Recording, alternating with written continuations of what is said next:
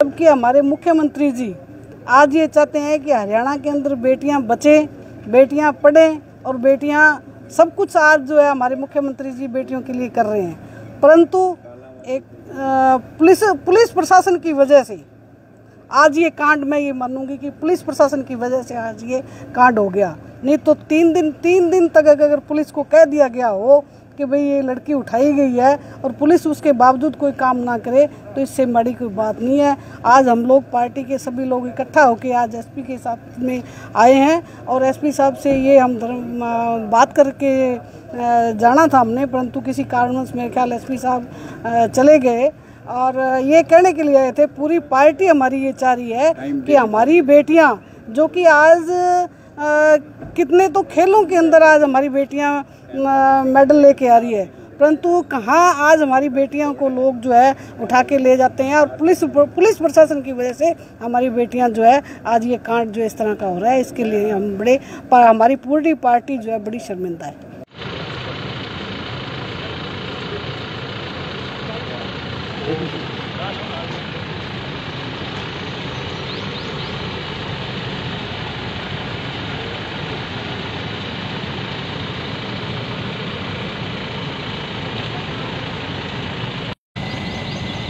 कि बहुत ही दुर्भाग्यपूर्ण है कि सिरसा जिला के गाँव गिंदला में एक 12 वर्ष की बच्ची, एक अबोध व मासूम बच्ची, जिसको अभी पूरी समझ भी नहीं आई थी, लेकिन कुछ दरिंदों ने उनके साथ बहुत वहशियाना काम करते हुए उसका अपहरण हुआ, दरिंदगी हुई, हत्या हुई। इससे बड़ा और गंभीर कोई अपराध नहीं हो सकता है। यह व्यक्ति के विरुद्ध अपराध नहीं है। यह मानवता के विरुद्ध अपराध है। पूरी की पूरी ह्यूमनिटी के विरुद्ध है। पूरे समाज के विरुद्ध है। भारतीय जनता पार्टी इसे बहुत गंभीरता से लेती है। हमारे सम्मानित जिलाध्यक्ष खड़े हैं और जितने भी हमारे ज़िले के प्रमुख कार्यकर्ता हैं, वो भी खड़े हैं। हम पिछले साढ़े छः वर्ष में पहली बार यहाँ पर आए हैं। इनको संदेश देने के लिए कि भारतीय जनता पार्टी के नज़रिए में यह बहुत ही गंभीर विषय है। हमारी पुलिस प्रशासन से अपेक्षा है कि वो इसमें निष्पक्ष जाँच करेगी, ईमानदार अधिकारियों से कराएगी कर्तव्यपरायण अधिकारियों से जाँच कराएगी, सख्ती से इसको लेगी ताकि ऐसे अपराधों की पुनरावृत्ति ना हो। हम भारतीय जनता पार्टी का यह एहसास मान्यवर पुला- पुलिस अधीक्षक महोदय को देने के लिए यहाँ पर आए हैं कि भारतीय जनता पार्टी भले ही सरकार में है, सरकार अपना दायित्व और धर्म निभाएगी, लेकिन हमारा भी कर्तव्य बनता है और हम उस कर्तव्य को निर्वहन करने के लिए यहाँ पर पुलिस प्रशासन को अपना संदेश देने के लिए आए हैं और वो दिया।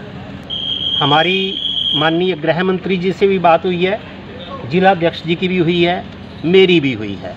उनके संज्ञान में भी लाया है मुख्यमंत्री कार्यालय के संज्ञान में भी यह सारा गंभीर विषय दिया गया है और सरकार के द्वारा भी जो यहाँ पे उनके निर्देश होने चाहिए, वांछित और अपेक्षित निर्देश, वो सारे पहुँच चुके हैं। भारतीय जनता पार्टी भी इसे अत्यंत गंभीरता से लेती है। इसमें कोई कोताही नहीं होने दी जाएगी।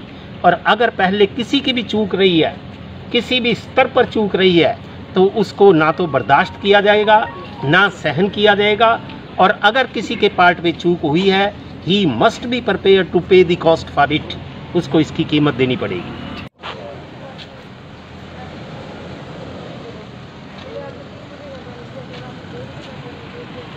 भारतीय जनता पार्टी के सीनियर कार्यकर्तागण नेतागण सभी लोग, जो रानिया थाना के नीचे, गाँव गिंदला के अंदर जो बच्ची का अपहरण करके उससे दुष्कर्म करके जो उसकी हत्या की गई इसकी हम सब लोग निंदा करते हैं। और आज एसपी साहब को ये नोटिस में लाने के लिए सारी भारतीय जनता पार्टी की लीडरशिप यहाँ आई है ये दूसरी घटना है, एसएचओ रानिया जो आज प्रेजेंट में है, इन्हीं के काल में। दो महीने पहले ऐसा ही एक घटना कालवाना गाँव के सारण परिवार के एक लड़के के साथ हुई थी।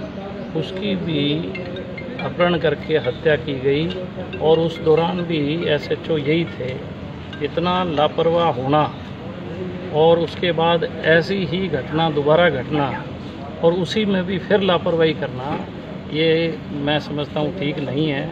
पुलिस प्रशासन को मुस्तैद होके ऐसी घटनाओं को रोक लगाना चाहिए और जो ऐसे लोग कृत्य कर रहे हैं उन्हें अतिशीघ्र पकड़ के और दंडित करना चाहिए, अब न्यायालय में पेश करना चाहिए। आज मान्य जगदीश चोपड़ा जी, हमारी महिला विकास निगम की पूर्व चेयरमैन श्रीमती रेणु शर्मा जी, भावना शर्मा जी, विमला सिवर जी, जसविंदर पाल कौर पीके जी, सारी हमारी महिला लीडरशिप भी आज हमारे साथ है। और हम आज एसपी साहब से हमने बात भी की थी कि और मिलने का उनसे समय हमने दो बजे का तय हुआ लेकिन किसी कारणवश एसपी साहब अपने दफ्तर में अब नहीं हैं। या तो हमें बता देते भी वो किस टाइम मिलेंगे, लेकिन हमें दो बजे का टाइम दिया। सारी लीडरशिप आज आपके सम्मुख खड़ी है। अत्यंत गंभीर मसला हमारे ज़िले का है। अगर ऐसी घटनाएँ बार बार होती रही तो मैं समझता हूँ कि पुलिस प्रशासन पे लोगों का भरोसा उठ जाएगा। अपनी जिम्मेवारी का सही निर्वहन करें। इसके तहत हम ये इनको सजग करने आए हैं कि ज़िला के अंदर आप जिला कप्तान हैं, प्रमुख हैं। और भारतीय जनता पार्टी का कप्तान होने के नाते जिला अध्यक्ष होने के नाते मेरा दायित्व फ़र्ज़ बनता है हमारी सरकार है। हम लोगों के अंदर भरोसा विश्वास कायम करें और प्रशासन भी अपनी ड्यूटी मुस्तैदी से निभाएँ। क्यों? क्योंकि ये उसी एस एच ओ के तहत सेम टू सेम दूसरी घटना है। तो क्या क्या, मांग करते क्या मैं आपसे आपके सामने सवाल रखता हूँ क्या एक थाने का अधिकारी होने के नाते एस होने के नाते उसका फ़र्ज़ नहीं बनता था कि जिस दिन ये घटना हो within two three days उसको ट्रैप करे ट्रेस करे। आजकल तो क्या चीज़ नहीं है। मोबाइल से ट्रेस हो सकता है। आपके पास हर साइबर है टेक्नोलॉजी है, सब चीज़ है। लेकिन अगर ये ऐसी घटनाएँ हैं, जो दूसरी दफ़ा घटी है तो इसका मतलब इसके दोषी कौन है? जो पुलिस वाले दोषी हैं, उनके भी खिलाफ सख्त कार्रवाई करें। और जो इसमें दोषी गण पाए जाएँ, सरकार ने कानून बनाया है कि अगर ऐसी घटनाएँ छोटी बच्चियों पे होता है तो फांसी की सज़ा का प्रावधान है। पकड़ के न्यायालय में रखें और उस परिवार को न्याय न्याय दिलाने का काम करें। मैं आप लोगों के माध्यम से भी, आम जनता के बीच में भी ये एक भरोसा और विश्वास दिलाना चाहूँगा कि भारतीय जनता पार्टी की संपूर्ण लीडरशिप ऐसी घटना की कड़ी निंदा करती है और हम जनता के साथ और जनता के बीच में हैं। जहाँ कहीं जनता की आवाज़ नहीं सुनी गई, बड़ी मजबूती से और बेबाक तरीके से हम आवाज़ उठाने का काम करें